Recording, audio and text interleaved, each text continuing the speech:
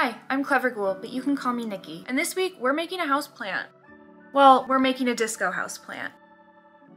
So a little while ago, I was at Goodwill and I found this incredible pot planter that was shaped like a skull. And I knew I wanted to disco tile it. And I did that in my own free time one night. I did film it and I might upload it to TikTok if we still have TikTok. So I took this planter and I put disco tiles all over it and it was amazing, but it needed a plant inside. I don't know about you, but I'm sure as you know, I, I have a cat. So a lot of the times I can't actually have house plants or if I do, they're outside because she will try to eat them. And regardless of if they're non-toxic or not, I just don't want to deal with that. So for me, making a house plant out of paper mache or plaster sounded like a pretty good idea. And then once I thought about making a fake plant, I decided I also wanted it to be a disco plant to go with the disco planter because, you know, you can't have enough disco. Maybe you can, but I can't. So when I thought about plants that I wanted to make, I knew that I wanted to do a Monstera albo. They're a really rare plant. They're variegated, which means they have a lot of white and greens going on in them. Sometimes some of the leaves can even be just split right down the middle of green and white. It's really cool, but they're also really, really expensive because they're really rare. When I say really expensive, I mean really expensive, like hundreds, if not a thousand dollars for a cutting, for just a partial plant. For a full plant, I'm sure it's over a thousand dollars. It's pretty wild. So yeah, never gonna spend that much on a plant, but they are gorgeous and I love them. So I thought to myself, let's make a Monstera albo plant, which means I could use just the regular clear mirrored tiles and incorporate some green mirror tiles as well. So let's get into it.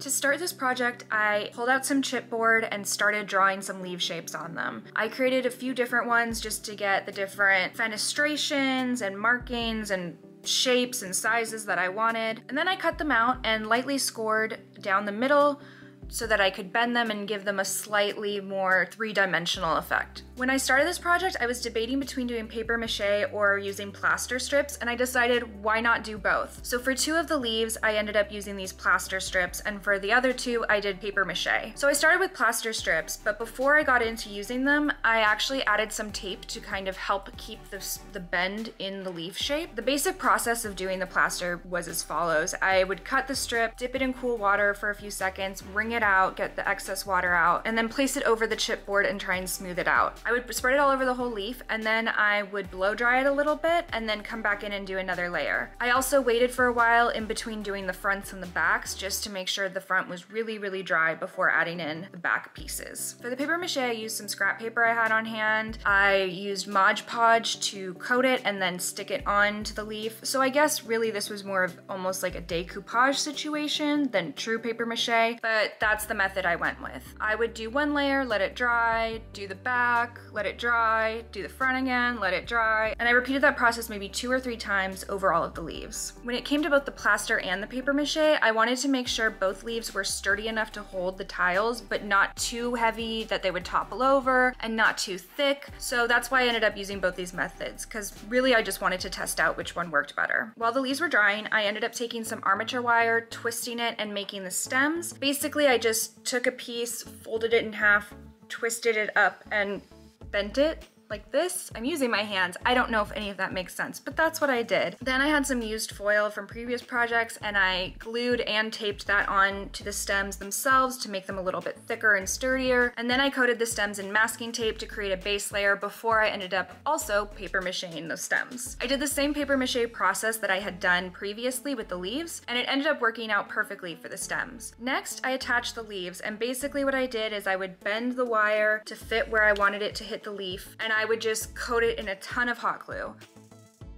like really a ton of hot glue. And then once those were dry, I took them outside and sprayed them with a sealing spray just to make sure that everything was really sealed in together and locked down before painting. Once those had dried off, I decided it was time to paint on the leaves. I started with the paper mache leaves and I mapped out where I wanted the green sections and the white sections to be. And then I just took some acrylic craft paint and started painting. I started with green, going in layer by layer, and then I added in the white after. I just want to be clear that this isn't a perfect painting job and that's because it doesn't need to be. Since I'm covering the majority of this with mirror tiles, I really wanted to have a background where if there were gaps in between the tiles, it wouldn't be glaringly obvious. When it came to painting the plaster leaves, I didn't actually map anything out. I just looked at reference on my iPad as I painted on. With both the paper mache and plaster leaves, once I did the tops, I would do the bottoms as well to mimic the markings on top of the leaves. And I also ended up painting both stems green. I wanted to make sure the stems would stay pliable and movable if I wanted to adjust them in the end, so I didn't end up covering them in mirror tiles or anything else, just paint. Once all the paint was dry, I took both of the stems outside, sprayed them again with the sealer spray paint, and then I let them dry before moving on to tiles. Now that it's time to tile, I basically just followed the shape of the leaf, the direction the markings were going, and just started tiling. Thankfully, these tiles are self-adhesive, so there wasn't a lot of extra work. I was worried, however, that when it came to the plaster that I would need to glue each tile down because I wasn't sure that it would adhere to such a bumpy textured surface, but it ended up sticking just fine, which was a major relief. So I continued adding tiles and all the leaves and then that was that. Now these are kind of heavy, so my last piece that I didn't get on film was me finding something to attach them to that was heavy before sticking them into the pot and then covering the pot with some brown craft paper, recycled paper to mimic what the dirt would be in the pot. If you're attaching these to something, you might want to use foam, but I just wanted to use found materials or random things that I had on hand that I knew would work and didn't really need to be used for anything else. So that's what I did. So now it's time for the reveal.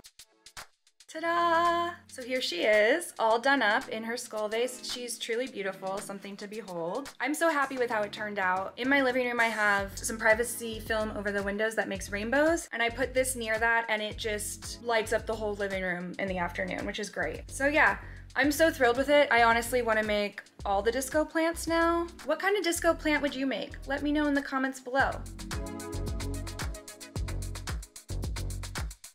Thank you so much for watching. Don't forget to like, comment, and subscribe, and I'll see you next week. Bye!